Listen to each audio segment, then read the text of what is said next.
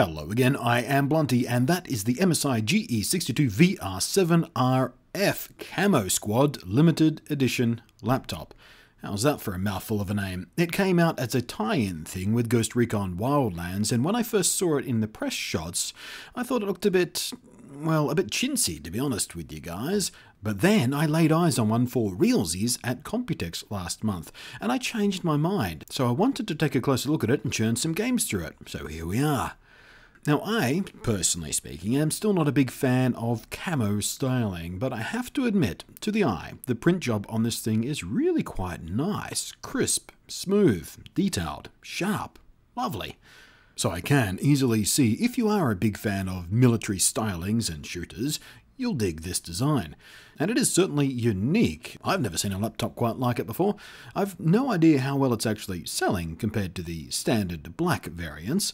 I expect it's a pretty niche appeal. But hey, you know, heads up on this if you were interested in a camo themed laptop, and like me were initially a bit off center based on the press shots, IRL, it looks damn nice, so give it a go. Now underneath the camo sits the rock solid combo for a mid-sized gaming laptop, a 7th gen Intel i7 7700 CPU, and a full fat 6GB GeForce GTX 1060 with your choice of either a 1080p or 4K panel, depending on if content creation or gaming is your prime focus, and of course the Cooler Boost 4 cooling system from MSI, which if you've seen my other reviews and looks at the other family members in this range of laptops from MSI, you'll know I am a big fan of. Pardon the pun. MSI's coolers work fantastic, keeping temperatures under control without getting obnoxiously loud. They balance that really nicely. It's one of my favourite things about their laptops, actually. Elsewhere around it, you've got three USB ports, an SD card reader, a USB-C 3.1 Gen 2 port, full-size HDMI out, and a mini display port. Again, much like its sister models, it's a nice balance of features and size and I.O. and all that kind of stuff, all weighing in at under 2.5 kilos, and with more than enough grunt to even kick around some high-end VR stuff like the HTC Vive. And as for actual real world in game performance, well, it's no shocker. I've become very familiar with the combo punch of the GTX 1060 and a 7th gen i7 in a laptop, having tested a fistful of laptops now circling around that core combination. And it really is a nice sweet spot balance between power and affordability. I am actually only going to show you a few games out of it, because frankly I already know this combo kicks 1080p high and ultra level gaming really nice, but I do have to show you something, don't I? So, Project Cars here, which you've been watching in high settings, swims happily above 60 frames per second, reaching into the 90s at times. You may notice a little bit of a stuttering here and there in this recorded gameplay. Something went a bit hinky with my capture, but the game, I assure you, actually ran smooth as buttered silk.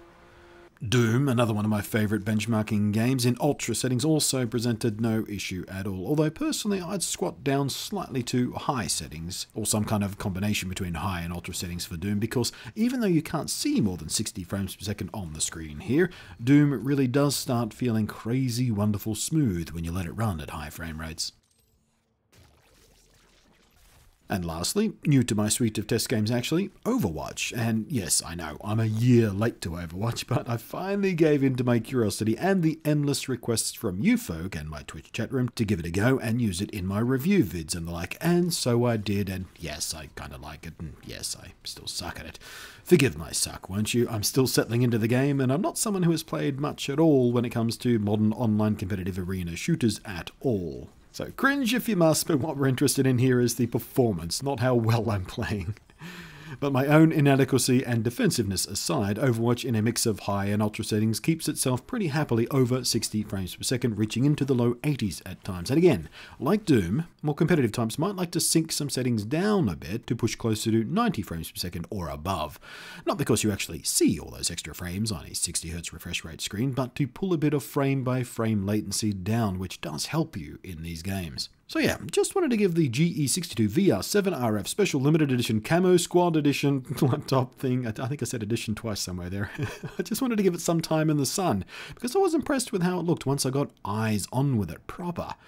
And yeah, unsurprisingly from MSI, rock solid performer.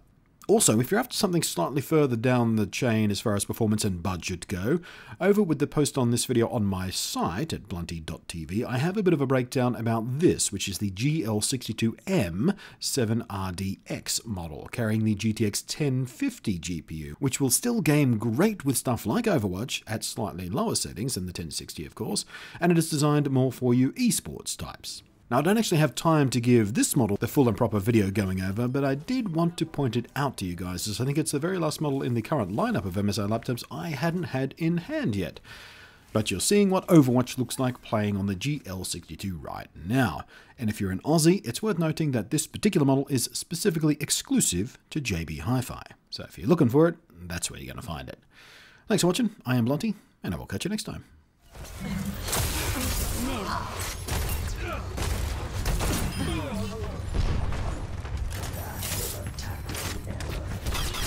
No one